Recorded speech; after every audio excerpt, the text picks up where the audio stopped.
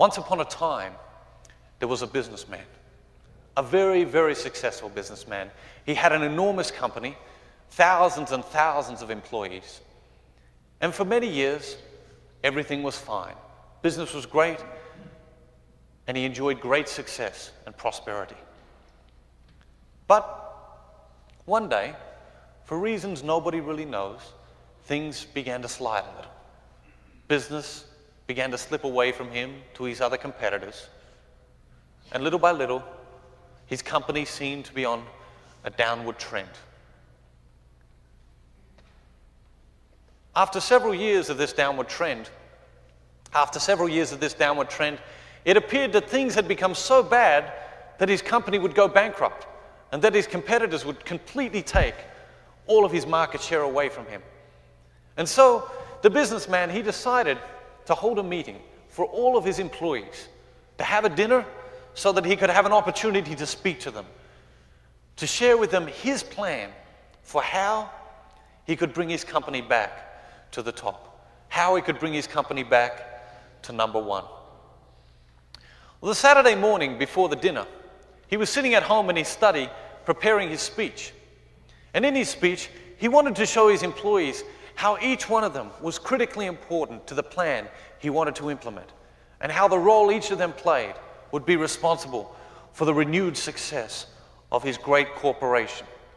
And as he was sitting at home in his study that Saturday morning, his wife had to go out shopping, and about 10 minutes after she was gone, there was a, a knock on the study door.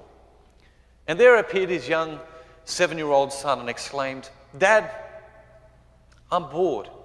I've got nothing to do. So the father half tried to amuse his child by playing a board game with him, while at the same time half tried to finish writing his speech. This went on for nearly two hours. And then the father realized that unless he could find some other way to amuse his child, he wasn't going to get his speech finished in time. So the father, he picked up a magazine and he flicked through the magazine until he came to a large, brightly colored map of the world. And he tore that page out and he ripped it into many, many pieces and he threw the pieces all over the living room floor and he said to his child, Son, if you can put the map of the world back together, I'll give you $10. And with that, the child rushed to the task, eager to earn some extra pocket money. And the father returned to his study, believing that he had just bought himself two, maybe three hours to finish writing his speech.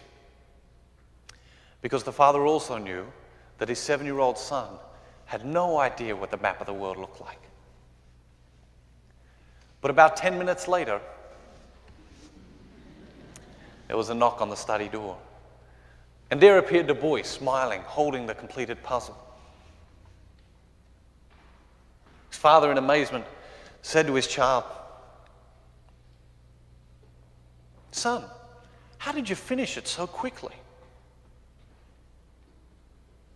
The boy smiled larger than ever and said, You know, Dad, I had no idea what the map of the world looked like. But I noticed that there was a picture of a man on the back.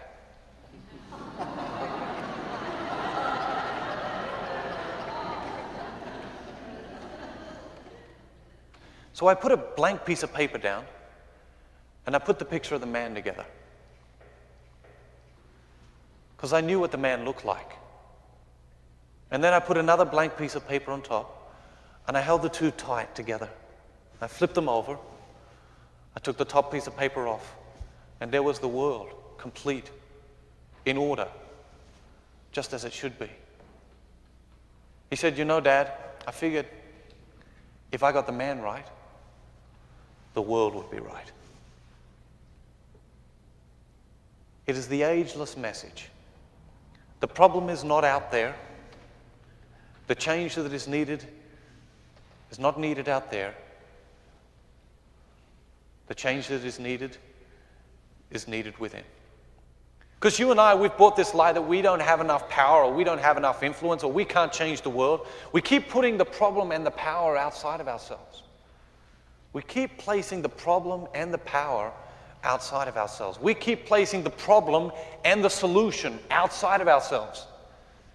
And so nothing changes. But when you and I, when we begin to affect what we can affect it is then that we will begin to have an effect. We have the power to be the difference that makes the difference in this world, in our place, in our time, and yet is the most unemployed of all human abilities. Is the most unemployed of all human abilities. You want to live a life of greatness? You want to live a life of greatness? Find that power, engage that power, employ that power every day, and you will live a life uncommon. Find that power, engage that power, employ that power every day, and you will live a life uncommon.